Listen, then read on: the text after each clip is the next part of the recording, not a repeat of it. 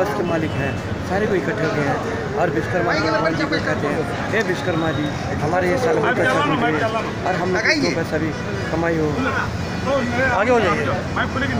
अच्छा से अच्छा पूजा पाठ के लिए। और हर बस मालिक हैं हाथ जोड़ते हैं विश्वकर्मा जी का हैं। आइए देखते हैं।